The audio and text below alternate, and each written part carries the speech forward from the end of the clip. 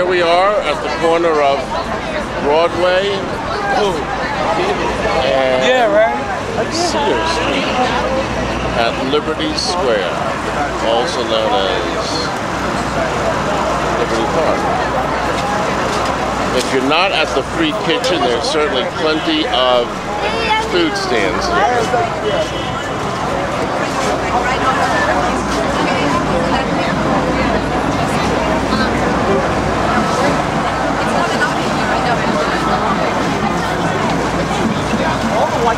My parents also